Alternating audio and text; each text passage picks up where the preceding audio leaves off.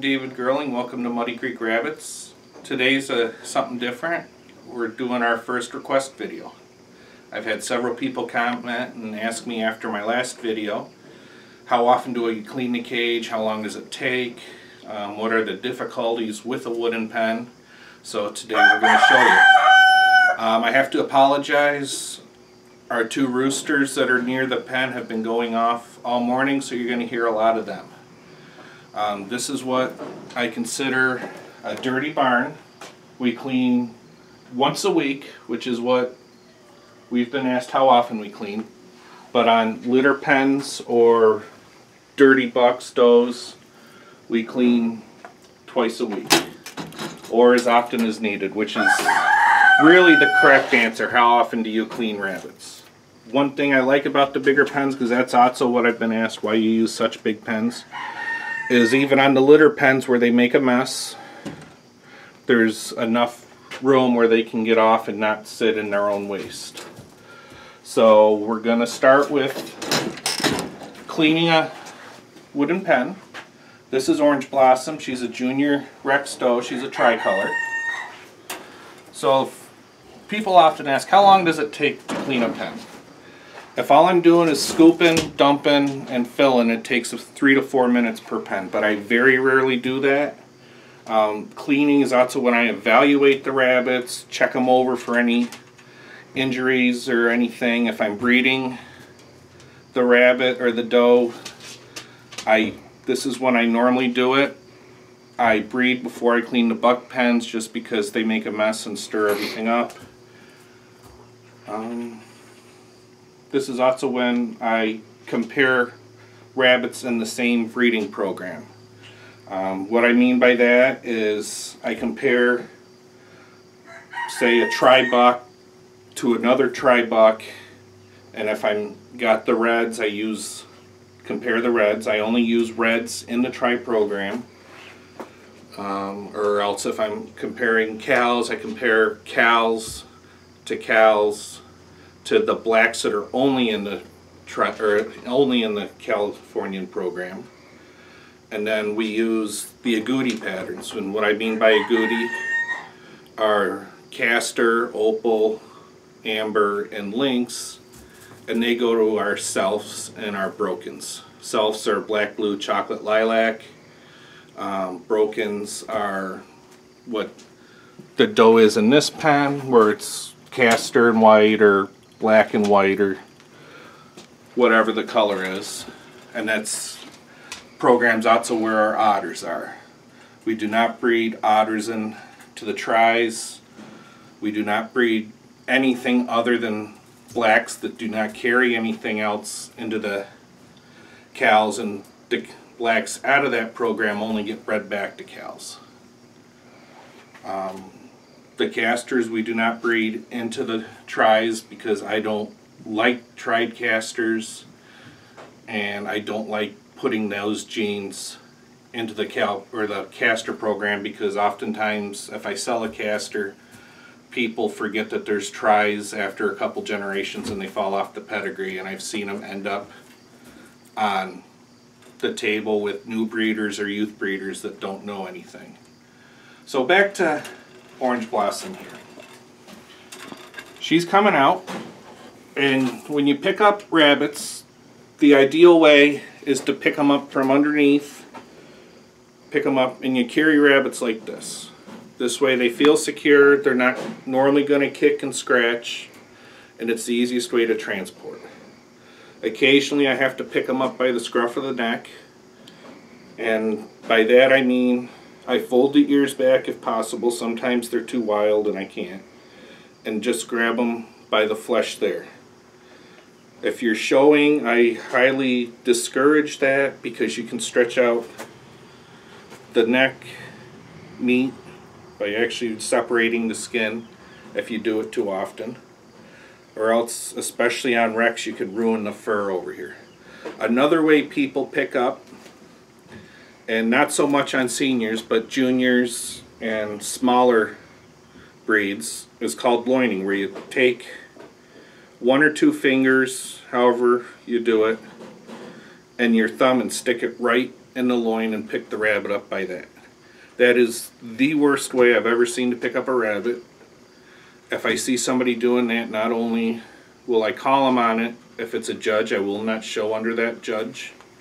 If it's a breeder, I will not sell to that breeder. I've had people tell me, well, they're juniors or they're only meat rabbits. Um, we do sell for meat. Our meat rabbits are raised exactly the same as any other rabbit up till the time they go. We show them the same care and anything. There's not just a meat rabbit. To me, there's rabbits. Some go for meat, some go for show, some go for pets. But they are all raised and handled the same. So anyway, we go over to my table. And my table's kind of a mess because this is where everything in the rabbit barn gets stored. And evaluate her. She's a very nice doe. She could use some more black on her. And her texture is just a touch soft, but she's nice. She's about four and a half months old now, just shy of five. Um, she's got one more show tomorrow, and then because our next show isn't till the end of October, she may or may not be shown again. She may end up as a breeding doe because I have certain feelings about showing senior does. Young senior does, I understand. After about nine, ten months, does are supposed to be bred. Their job is to produce the next generation of show rabbits. I don't keep does more than three, four litters. I don't care what they're producing. Their job is to outproduce themselves. Same with the bucks. There's nothing in my barn older than two years old. If they haven't outproduced themselves, there's no reason to keep them. If they have outproduced themselves, again, there's no reason to keep them. You've got better rabbits in the barn. So, that's my opinion on that. So she's been evaluated against other tri-does in her age group. And I've kept two at a, about five litters. I have nothing against junking an entire litter. There's no reason to keep something out of every litter. It's either a good rabbit or it's not. And as I said, if it's not in the same age, or if it's in the same age group, and you've got two good rabbits, and you've got four junk rabbits, or not so good rabbits, the junk ones go for me.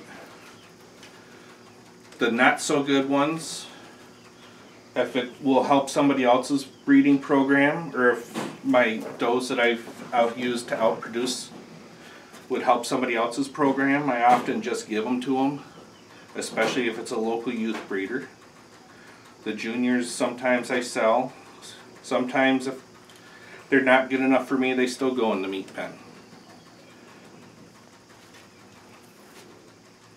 So that's what I do when I clean. So now we go back to the actual cleaning program. The items that I use to clean are purple bucket to dump the excess food in to feed the chickens. Toilet brush. Dustpan. And the cutoff hole to scrape.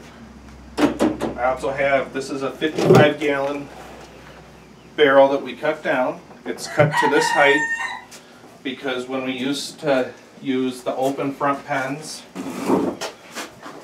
it will fit under there and we could just use the hoe to scrape in. But since we've gone to the solid pens, now we just use the dust pans. So, just clean. You can see a lot of the shavings are still dry.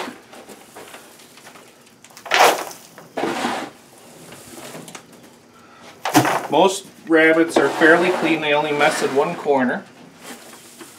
And this is the corner you want to make sure you get everything.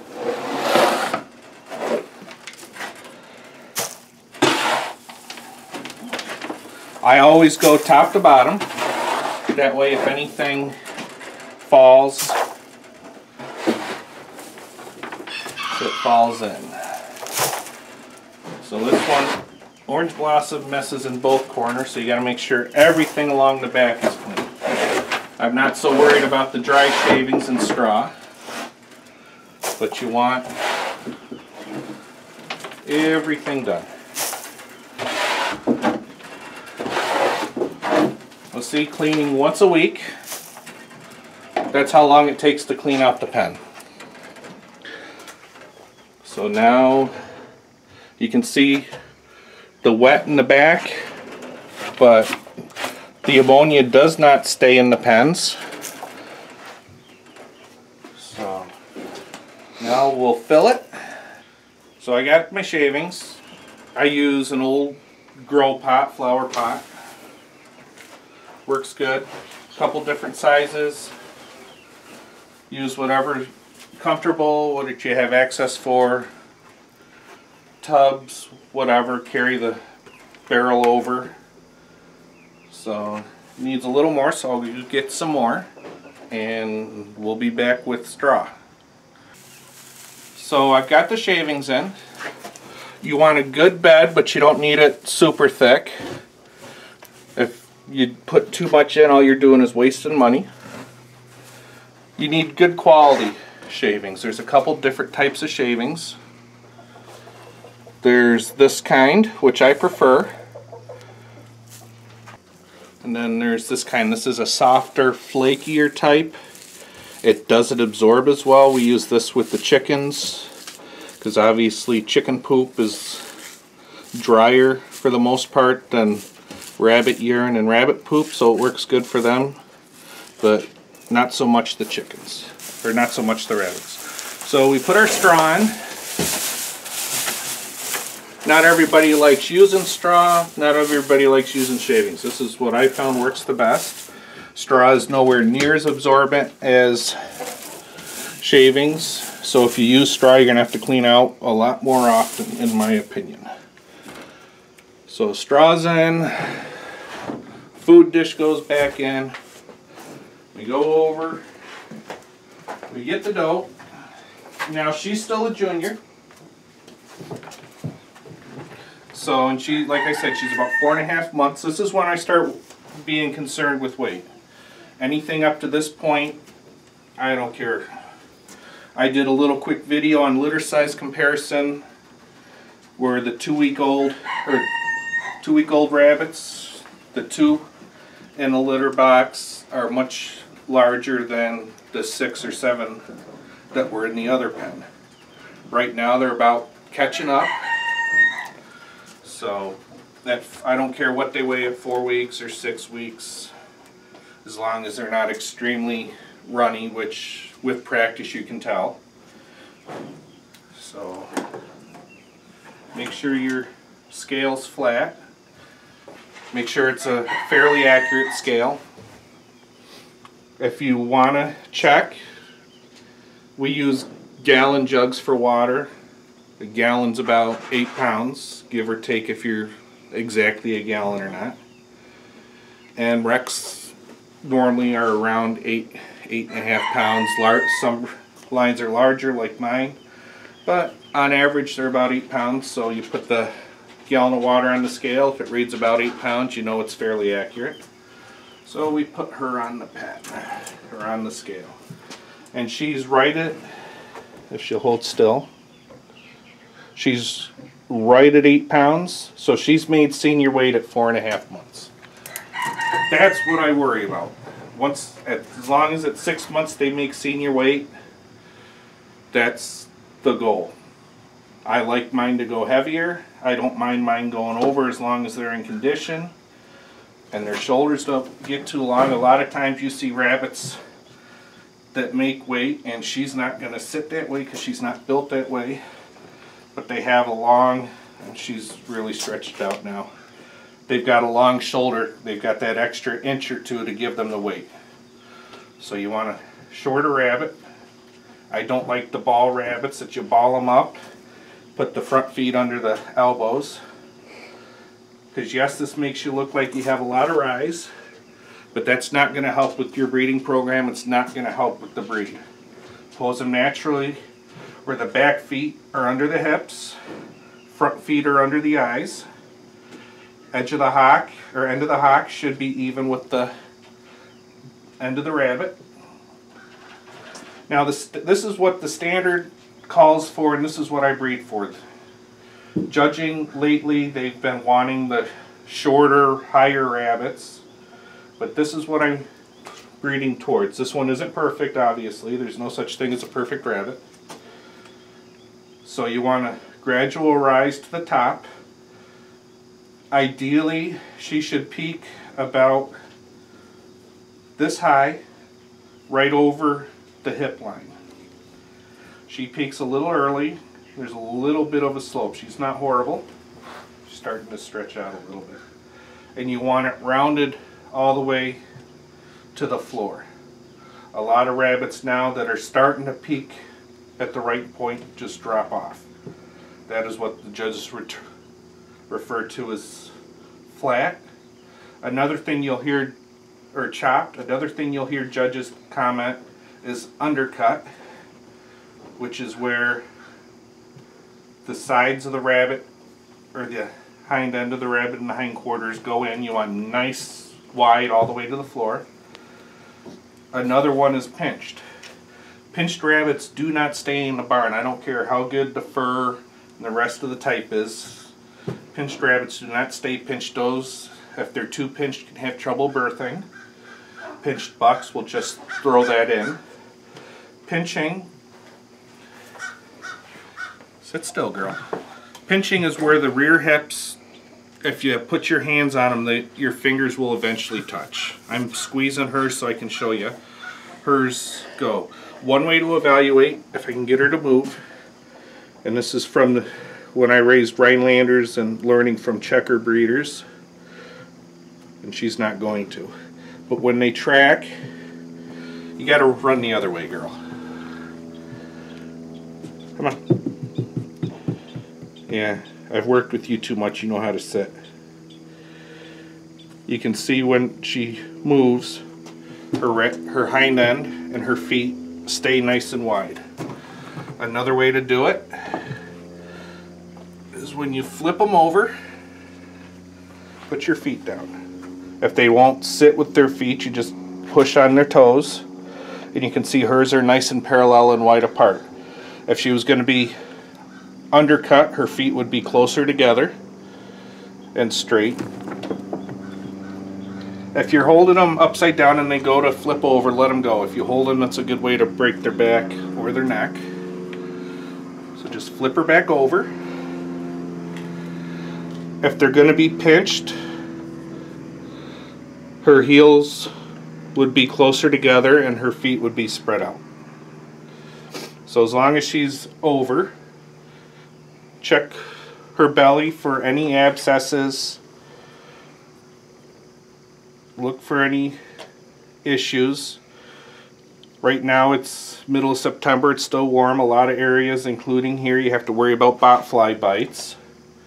They're actually not bites. The botflies actually lay their eggs in on the rabbit and the larva burrow in and it's disgusting and you have to pop it out like a pimple, but you have to be very careful to get the thing all the way out. If you're uncomfortable doing it, that's one of the few things I would recommend taking to a vet. If it's young, it's not such a big deal on brokens. They just have to match the same and corresponding foot. But you check toenail color. I always start with the front feet because if the front are all correct, most likely the rears are. So what I mean by corresponding is if she was going to have dark nails, both her front feet have to have dark nails. And they all have to be the same color. And you go to the back. When you trim rabbit toenails, you trim, don't cut the little pink part. That's the quick, it'll bleed, it hurts the rabbits. Other than that, you want to keep them short. But you have to keep them just long enough for the judge to tell what color they are. So you let her look. I let them wander around so they're not scared of the table. You can also kind of evaluate, especially on young ones when you're looking at litters, how they look when they're on the table. Some of them will just sit more natural than others as far as showing. You can check their bone. When we evaluate litters, that's the very first thing we look at is the bone. If they're not going to make weight, there's no reason to keep them. So, and then we look at fur. Fur's real easy to look at. On Rex, sorry, I'm allergic to rabbits and allergic to goldenrod, and they're both really out right now. Hi, Olaf.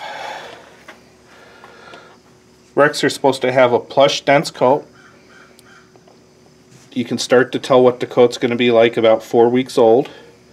If it's thin, it goes. Even at four weeks, we have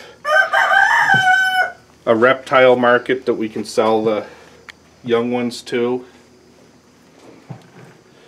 So it's bone, fur, then on color breed or color varieties like the tries and the cows. Then we go to color and look for any DQs such as torting on the tries, um, martinizing or a agouti on the cows as I'm still trying to breed that out. And then we go to type. Or if it's one of the regular brokens or selfs, otters, agoutis, we skip that color part and go straight to type. And this is when we compare them to their others in the breeding program to start with. And then we go back to color. Color is the last thing you pick for in most color or most varieties. If you have a litter with blacks and blues and castors, you pick the best one. If you don't like castors, but that's the best rabbit in the litter, that's the one you grow out because obviously it's carrying a black or it's carrying a self gene of some kind. If there's other selfs in the litter. Unless you're breeding castor to castor, then you're not 100% sure. And we normally pick two, three, four in a litter, if it's a big litter, to let grow out because we start weaning at five weeks. And then we evaluate again every week until we've either whittled it down to one or two or we've gotten rid of the entire litter. Then we let the does rest a little bit and then we start all over again. So I've got her. This is when you brush out, there's no cobwebs in her pen. So that part is easy. Normally you wipe out cobwebs before you put the shavings and straw on or even before you clean it. And now you do the outside. Do this every week, it's easy. Get the fur off, get the cobwebs off. I hate spiders, but our barn's over 100 years old, so unfortunately I can't get all the spiders out. This is Danny, I'll clean her later. She's a junior Caldo. So you just, and sometimes as I'm doing it I'll do some of the other pens. They're going to get dirty as I clean them anyway, but I think it looks better. And then once everybody's done in the barn, you sweep. Sweep all the stuff off, sweep the ceiling, get the cobwebs up there, try to get rid of the spiders. Then once everything's done, we hang fly strips in the summer because again it's a hundred year old barn and I can't keep flies out. So that's it for today. Thank you for watching Muddy Creek Rabbits. I hope you enjoyed this video. Again, if you have any questions or comments, feel free to post them. Please subscribe and like the channel, and I will see you next time.